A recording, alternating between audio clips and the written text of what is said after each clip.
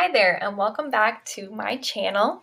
My name is Christy, aka That Spanish Teacher, here to help you work smarter, not harder in the classroom because you work hard enough already. I'm back with another teacher tech tutorial. Say that three times fast. And today, this is how you can play Gimkit in the new version of Among Us. Okay. On here, it is called Trust No One. But if you haven't already heard from it from your kids talking about it a million miles a minute, like mine are, Among Us is a new game that is very popular with students and Gimkit has made a version that you can play with your kids, which is super fun, super engaging, perfect for remote learning, perfect for hybrid, perfect for in the class. It is all around awesome and it's going to get your kids engaged, talking, excited about whatever topic you are doing.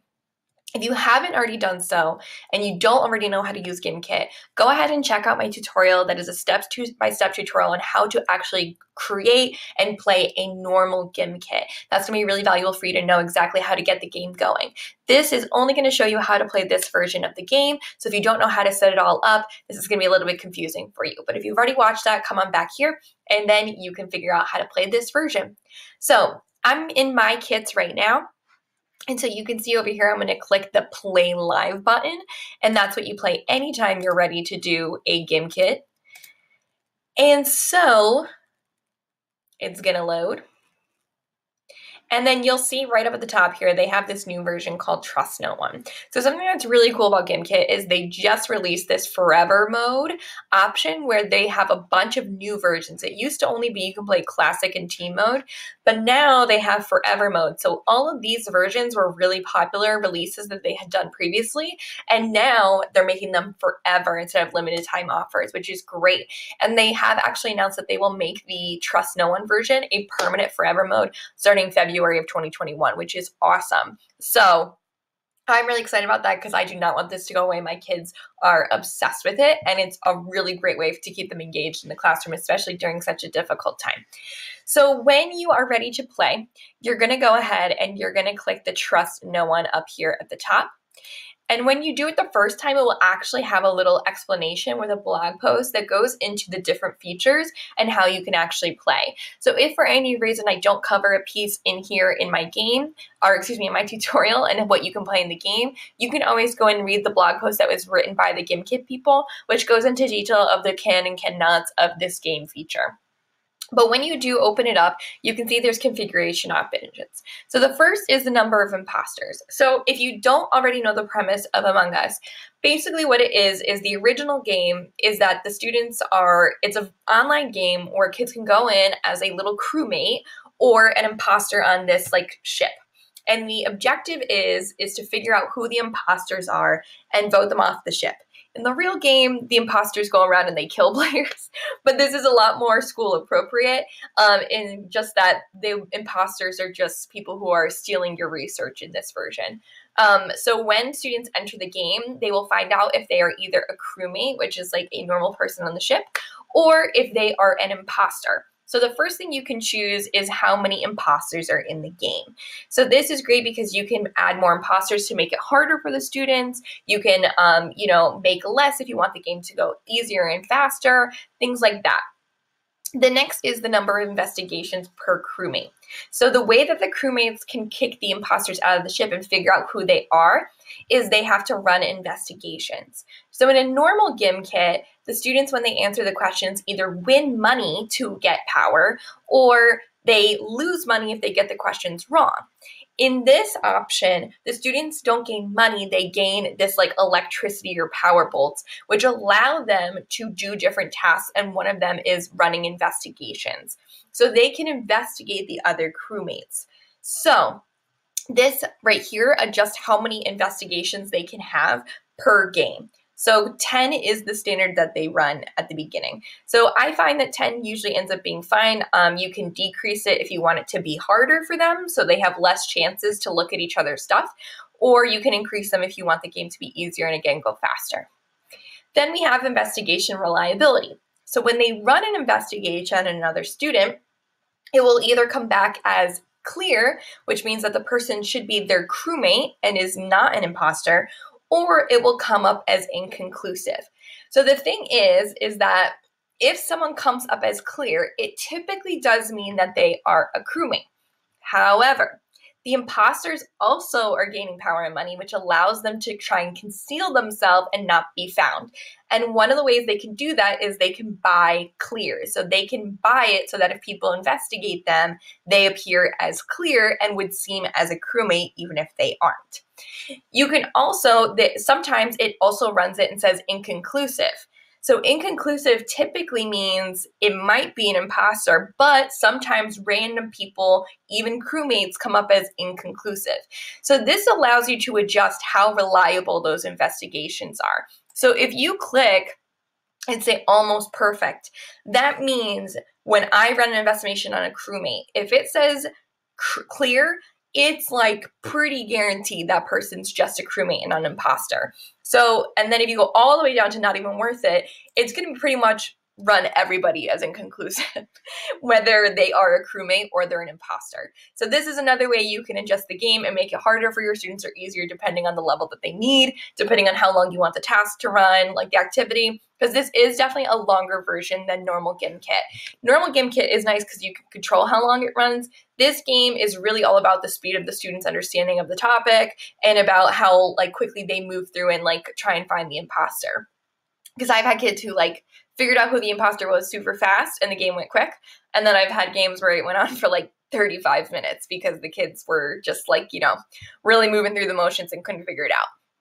The next part is public investigations. So there is an option when they're going to choose that power where they can do investigations. If they pay a little extra more power, they can do public investigations. So, a public investigation has the potential to clear someone on the leaderboard and show everyone in the entire game that someone is marked officially 100% as clear. They are definitely not the imposter and their name like shows up as green. So that could be really pow- powerful for the students to help them work better as a team and root out who is and is not a crewmate or an imposter.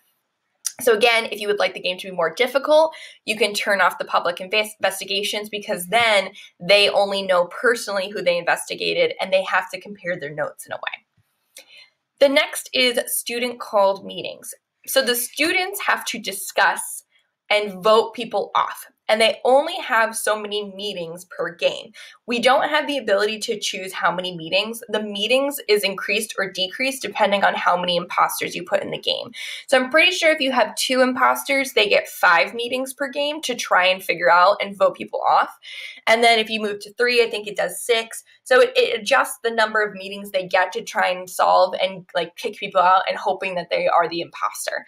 So you can have students call the meeting so that when they feel they're prepared, they have the opportunity to use their power and pay to call a meeting as a group and say, okay, who do we think is the right person? Who is the person we're going to vote out? Or you can turn that off so that only you, the teacher, can call the meetings. If you have student called meetings, you as the teacher can also call a meeting at any point. So it's not like you can't control the meetings if you don't want to. And you can also, as the teacher, end it at any time. You can end the game and make the imposters win at any time, which is kind of funny. Um, so that is all up to you and how well you think your students can run the game by themselves. I teach high schoolers, they run it completely themselves. Occasionally, I will call a meeting myself if I feel like they're taking too long and I want the game to move a little faster. Um, but again, I, I think that they're totally fine to run it by themselves. The next option is answer check. So this is so that when students are playing the game, if they get it wrong, they can see the correct answer afterwards and then move on to the next question. If you have this off, the students don't know what the correct answer is. It just tells them that it's wrong and then they have to keep trying again for other questions and hopefully they'll come back to that one depending on how long they play. Um, music is self-explanatory and then join in late players can join in after the game starts um, this depends on you know the level of your students again as well. Um, this could be something that might be a little bad. If you have the join in lane option students could potentially open up another window and join as another player and there could be too many players. You could have people join in um, with inappropriate names potentially. Um, so i guess just you know base it off of the maturity level of your students and how much you trust them to work this on their own. Um, but overall i keep this on. I think it's fine. So those are all of the settings that are available on your end. So that I'm actually going to start the game exactly as the default settings are, which is I think this is also on for default settings. And um, I'm going to go ahead and I'm going to continue. And we're going to create a game and then I'm going to show you what it looks like when the game is actually running. So we are back. I have joined the game four different times and marked myself as player one, two, three, four, just to show you. You do need at least four people to play this game. So this is what it looks like on the teacher end, just like a normal Gimkit, ready to play. And then on the student end, it gives you a little bit of an introduction. It says ready for liftoff.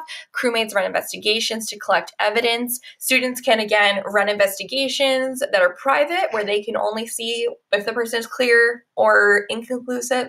They can run public if you let them, which would be that they can publicly announce if someone is clear.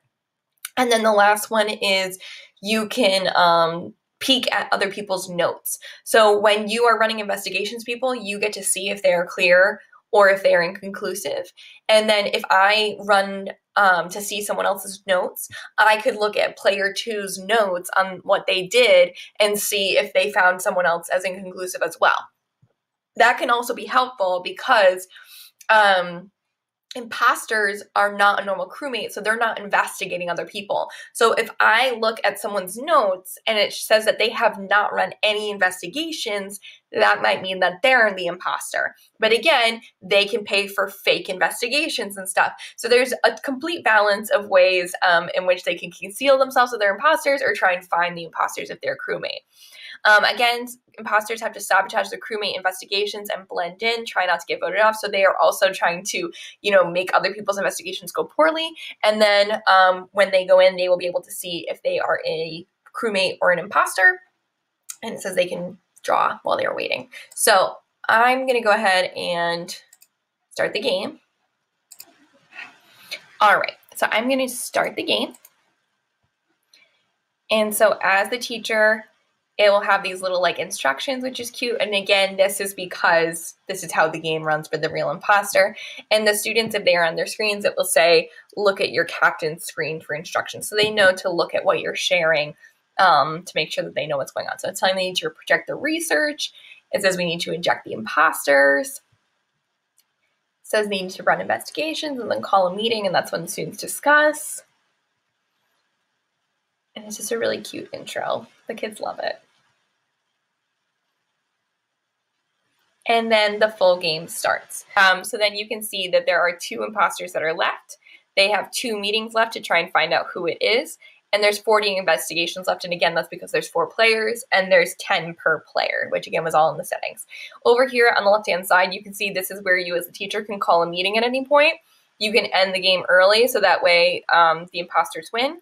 And again, the game code is down here so that you can have students enter in late because that's how you have to start the situation. And then as a student, you will be able to start running investigations. So let's answer some questions and try and run some investigations. All right, so this person who entered the game we can now see is an imposter. So their instructions are visit mission control, um, which is kind of like the Gimkit store, uh, to decrease the number of investigations crewmates can have and blend in by running fake investigations or putting on a disguise. So the first thing they need to do is they need to be able to answer the questions. Um, so my students are currently working on preterite versus imperfect. Um, so then you're going to type in this answer. Again, this is be based on how you format your questions in your class. Um, I do a mix of multiple choice and fill in the blank. So now I got it right. So I'm going to do more just so we can see. Um,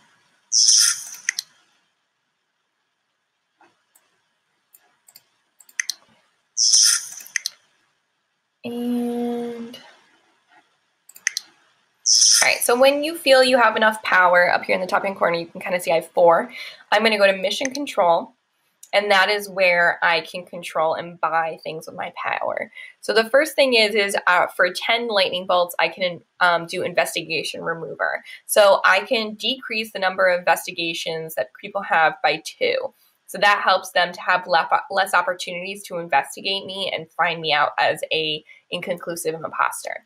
You can do six lightning bolts as a fake investigation. This is if people look at your notes to be able to see that you ran investigations, which makes you blend in with the crewmates because that's what they're doing. Um, you can buy for 15 power bolts unclear, which means prevent a crewmate from even appearing on the clear list um, from ever appearing. So you can make it so that someone else can't be cleared. So that way they seem like they're the imposter because they keep coming up as inconclusive. And the last one for another 15 power points is disguise. Um, so appear as a crewmate the next time someone runs an investigation on you. So instead of coming up as inconclusive, you would come up as clear, which would make people think that you are not someone they have to worry about. So that is what it looks like to be a imposter. So now I'm going to run you guys and show you what it looks like to be a crewmate. All right, so now we are a crewmate. So as a crewmate, it says there are two imposters on board, find and vote them out, run investigations in mission control to rule out fellow crewmates, use your notebook to keep track of your suspicions, to find out who you had run as clear or inconclusive, call a meeting when you're ready to vote someone out. So they have the same opportunity that they are writing questions. I do no accents on mine. Okay, of course. Now I got that wrong. um, so I do no ask accents when my students are doing fill in the blank on here, just because um, it's harder for them. A lot of them do it on their computer, and so it's just easier to not have it because many of them don't know how to change the uh, language setting on their controls. Okay, so now I'm going to go to mission control and I'm going to see here are the options that I have. So I can do a private investigation for seven lightning bolts, which again allows me to privately look and check someone out and see if they're clear and conclusive. A public, which can probably clear someone in the green list, a note look, which I can take it to look at someone else's notes to see if they are doing anything, if they're running investigations or potentially looking suspicious. And again, that could just be that person is not doing well in the game, so they can't afford to do investigations, but it's an opportunity to look. And then lastly, it's 10 lightning bolts to call a meeting and vote someone out. So I'm going to run some investigations and have you guys take a look at what that looks like. All right, so our players have been playing a little bit. So as you can see in the investigation log, as students are investigating one another, it shows up on the screen that they investigated, but not how it came out. This is to help you see like maybe who's not active and should be and could potentially be the imposter.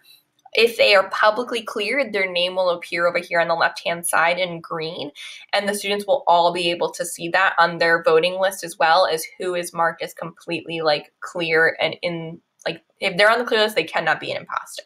Okay. So now I maybe feel like I'm ready as a crewmate and I want to call a meeting because I think I know who it is. So I'm going to go down here and I'm going to pay my 10 power and I'm going to say, okay, let's start a meeting. So on the teacher side, it says, okay, discussion time. Who is the imposter? So this is when the students can discuss and talk. You can choose have students do it like in the chat if you're like in a Google Meet or a Zoom. I have the students just let them unmute because honestly, it's so much fun to have them just like argue at each other and they're like, oh, so and so's really sus and all this stuff. They're so funny. So they chit chat, they decide who they all want to vote on collectively, and then they decide who they want to vote on. And when they're ready, you as the teacher have to click start voting. And then they have to vote which player they think it is. So I'm going to vote for player one. And then as a teacher, if people aren't voting or there's not enough or whatever it may be, you can end the voting early. And then it does a little message on the screen. And so you can say, okay, player one was who everyone voted off. And then it says player one was an imposter. and this is like a big dramatic reveal, or it'll say not imposter, not imposter.